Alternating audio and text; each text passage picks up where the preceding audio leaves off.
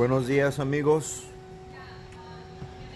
Ah, ah, estoy bien triste, bien desilusionado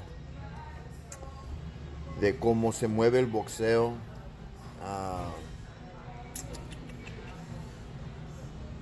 mm, como muchos saben, tengo mi página y ahí estoy metiendo productos de boxeadores con sus logos porque eso les ayuda que sin una inversión alguna puedan tener productos y artículos con su logo y su marca. Entonces lo primero que hago es que les pregunto, ¿quién es dueño de tu logo, de tu marca?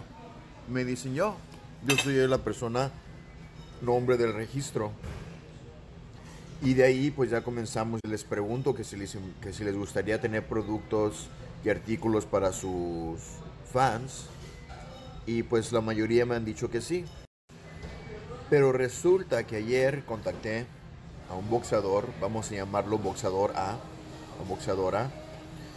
Ah, y lo mismo de su logo, que se le gustaría productos, y se emocionó, le gustó mucho la idea de tener productos a disposición de venta para todos los fans sin tener que invertir y obviamente con su esfuerzo y su dedicación como boxeador a este, crecer, ganar peleas, crecer su popularidad y en, por ende va a haber más ventas y más ventas, pues más ganancias. Este, pero resulta que boxeador A tenía manager A y promotor A.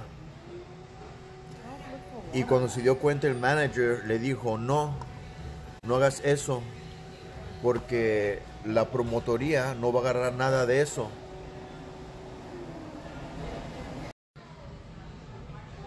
¿De veras? ¿No se conforman con robarle al peleador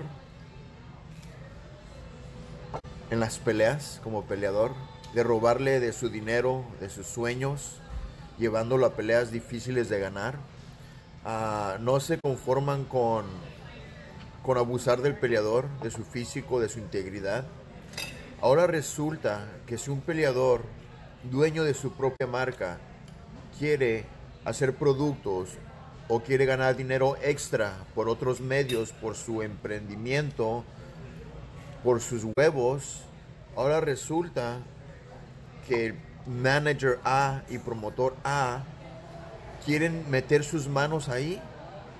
No se conforman con abusar del peleador dentro de la pelea.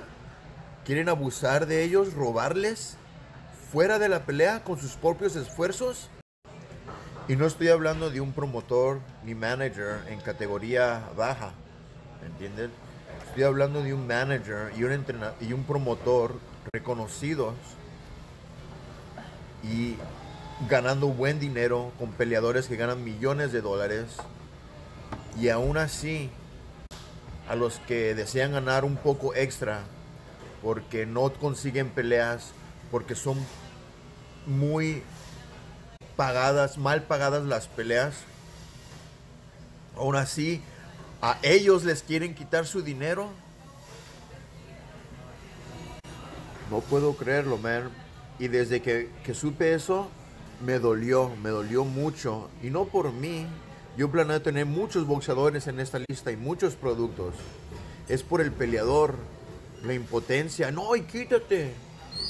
Que, la, que lo amenazaron a peleador A que amenazan a peleador A de truncarle su carrera, de no pelearlo, si en algún caso resuelve a conseguir dinero por fuera de los promotores y managers. Oh man, no sé, no soy abogado ni nada, pero eso debería ser cierto abuso. Eso no es normal. ¿O qué piensan ustedes? ¿Alguien sabe de leyes? ¿Alguien sabe de eso? ¿Que tiene algo que aportar a esta injusticia?